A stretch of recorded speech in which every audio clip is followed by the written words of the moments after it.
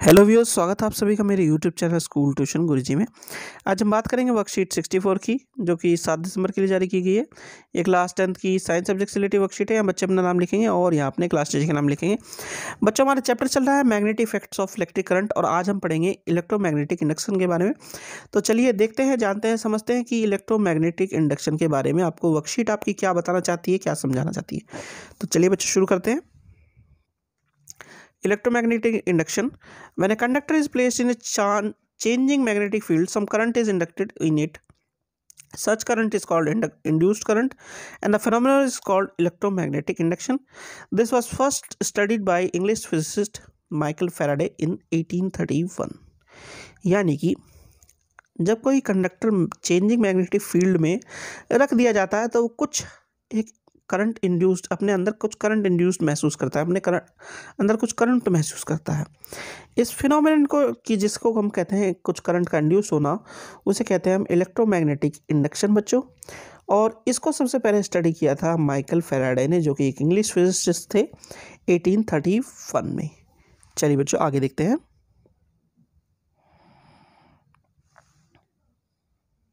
आगे एक एक्टिविटी दी है बच्चों, छोटी सी। चलिए करते हैं।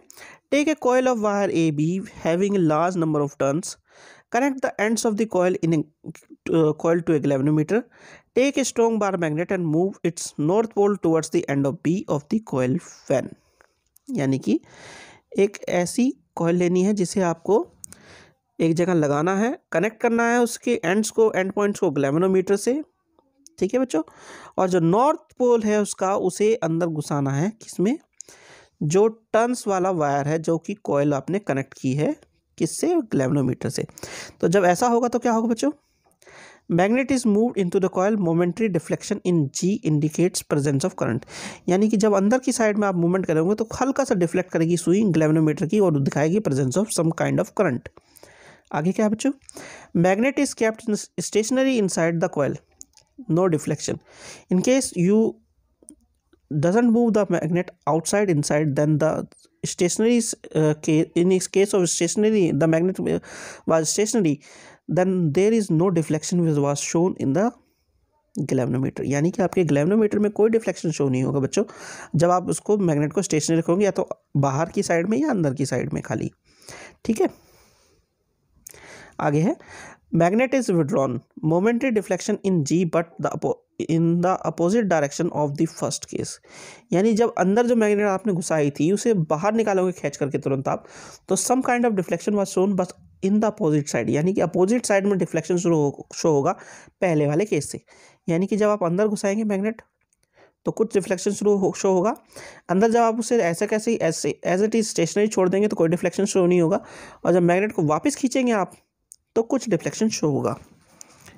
ठीक है बच्चों, लेकिन ये कैसा होगा? ये अपोजिट साइड में होगा पहले वाले केस से। फिर है एक galvanometer is an instrument that can detect the presence of a current in a circuit the pointer remains at zero the centre of the scale for zero current flowing through it it can deflect either to the left or to the right side of zero mark depending on the direction of the current यानी कि गैलेवनोमीटर क्या है बच्चों? सीधी भाषा में गैलेवनोमीटर current को major करने वाला एक छोटा सा डिवाइस है। अब इसमें क्या होता है बच्चों? ये बीच में दिखाता है, जैसे कि इसमें बीच में जो रीडिंग है, वो होगी ज़ीरो और एक साइड में इधर की साइड में कुछ रीडिंग होगी, इधर की साइड में कुछ रीडिंग होगी।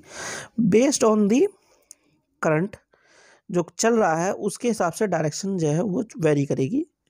यानी राइट हैंड साइड में या लेफ़्ट हैंड साइड में। ठीक है बच्चों? चलिए आगे बढ़ते हैं।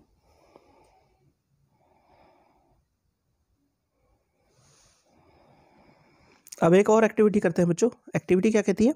Take two different coils of copper wire having large number of turns say fifty and hundred respectively insert them over a non conducted cylindrical roll connect the coil having large number of turns in a series of a battery and a plug and also connect the other coil to with a galvanometer when तो क्या करना बच्चों? दो आपको coil लेनी है, एक large number की और एक कम नंबर की, यानी कि एक फिफ्टी की और एक हंड्रेड की और रेस्पेक्टिवली जब इसे आप एक को जो है बैटरी से कनेक्ट कर देंगे, दूसरे को ग्लेवनोमीटर से कनेक्ट कर देंगे तो क्या होगा बच्चों? जब आप स्विच ऑन करेंगे तो मोमेंट्री डिफ्लेक्शन ग्लेवनो इन जी यानी ग्लेवनोमीटर में कुछ डिफ्लेक्शन शो होगा जब आप स्विच को ऑन करेंगे। स्टडी करंट नो डिफ्लेक्शन यानी कि जब करंट चलता रहेगा, तब कोई डिफ्लेक्शन शो नहीं होगा बच्चों। और आखिरी में है switch off momentary deflection in G but in opposite direction of the first case यानी कि उस डिफ्लेक्शन वापस शो होगा, लेकिन अपोजिट डायरेक्शन में होगा पहले केस से। यानी कि ये क्या दिखा रहा है बच्चों? ये इलेक्ट्रोमैग्नेटिक इंडक्शन के बारे में आपको दिखा रहा है। चलिए आगे बढ़ते हैं बच्चों।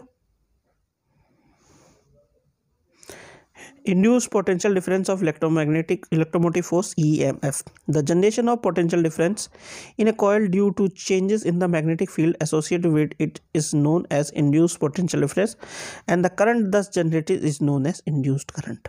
यानी कि इस तरह करंट जो जनरेट होगा वो इंड्यूस करंट कहलाएगा बच्चों और इलेक्ट्रोमैग्नेटिक इंडक्शन क्या है the process by which a changing magnetic field in a conductor induces a current in another conductor is called electromagnetic induction E M I यानी कि एक की वजह से दूसरे में जो इलेक्ट्रोमैग्नेटिक फ़ील्ड जनरेट हो रहा है, उसे इलेक्ट्रोमैग्नेटिक इंडक्शन कहते हैं और जो करंट जनरेट होगा, वो कहलाएगा इंड्यूस्ड मैग्नेटिक इंड्यूस्ड करंट बच्चों। अब इसे इंड्यूस करने के दो तरीके हैं। करंट को इस तरीके से इंड्यूस करने के दो तरीके हैं, बच्चों। पहला है placement of an electric conductor in a changing magnetic field यानी कि एक कंडक्टर को चेंजिंग मैग्नेटिक फ़ील्ड में छोड़ दिया जाए, ऐसे केस में इंड्यूस होगा करंट और दूसरा placement of a constantly moving conductor of electricity in a static magnetic field यानी कि अब मैग्नेटिक फ़ील्ड को स्टेशन स्टेशन जो मैग्नेटिक फ़ील्ड है, उसे हमने क्या क्या? स्टैटिक कर दिया और कंडक्टर को मूवमेंट शुरू करा दिया। ऐसे केस में भी ये संभव है।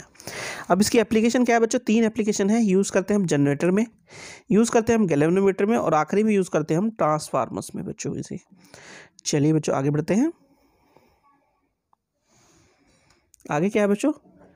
The direction of induce current can be shown by Fleming right hand rule यानी कि राइट हैंड रूल के में इस तरीके से डायरेक्शन को शो किया जाता है। होता क्या है बच्चों? राइट हैंड रूल में ये क्या होता है बच्चों? अंगूठा दर्शाता है मोशन को जो मोशन हो रहा है करंट का, वो कंडक्टर का, उसका, ये दिखा दी आपकी, क्या बच्चों? मैग्नेटिक फ़ील्ड को, और जो नीचे ये फिगर आ रही है, यानी मिडिल फिंगर जो दिखा रही है, वो दिखा रही है इंड्यूस्ड करंट का बच्चों। ये शो कह भी रहा है if the four finger indicates the direction of magnetic field and the thumb show the direction of motion of conductor then the middle finger will show the direction of induced current ये कह रहा था बच्चों, आपका right hand का Fleming rule, यानी Fleming right hand rule बच्चों। अब क्या है बच्चों, आपके क्वेश्चन आंसर देख लेते हैं, चलो। पहला है, पहला क्वेश्चन क्या है बच्चों? What is electromagnetic induction who discovered it write its one application तो इलेक्ट्रोमैग्नेटिक इंडक्शन क्या है बच्चों? When a conductor is placed in a changing magnetic field, some current is induced in it. Such current is called induced current and the phenomenon is called electromagnetic induction. First किसने study किया या किसने बताया इसको Michael Faraday ने ठीक है बच्चों अब इसकी एप्लीकेशन क्या है these three are the application ठीक है यूज़ इन जनरेटर गैल्वेनोमीटर और ट्रांसफार्मर में से यूज़ कर सकते हैं ये इसकी एप्लीकेशन है बच्चों क्वेश्चन नंबर टू है write difference way to induce current तो दो डिफरेंट वे हैं इंड्यूस करने के करंट में। पहला है placement of electric conductor in changing magnetic field यानी चेंजिंग मैग्नेटिक फ़ील्ड में इलेक्ट्रिक कंडक्टर को जय रख देना। दूसरा है placement of a constantly moving conductor of electricity in a static magnetic field यानी कंडक्टर मूव कर रहा है स्टैटिक मैग्नेटिक फ़ील्ड में, तब भी ऐसा इंड्यूस्ड होगा करंट आखिरी बच्चों state Fleming's right hand rule तो राइट हैंड रूल क्या कहता है बच्चों?